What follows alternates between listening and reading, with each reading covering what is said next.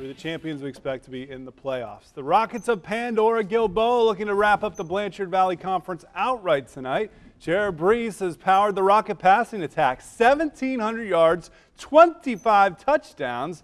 Their opponent Riverdale in the midst of the pack defensively, averaging a little over 120 yards passing per game. And PG up huge at the half. I think it was 54 to 7 maybe. Third quarter action. Jared Brees still in there. Hands off to Sam Burkholder and he is breaking three free for a first down. Brees again to Burkholder.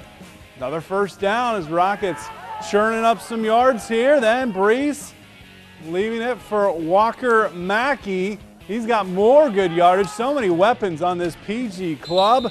And then it's Burkholder this time taking it all the way for the touchdown. Gets out of the toe hold and 44 scores on 44. And PG's your BVC champion. What a season in the regular season. They're open for a long playoff run. 61 13 year final. Pandora Gilboa wins. There you go.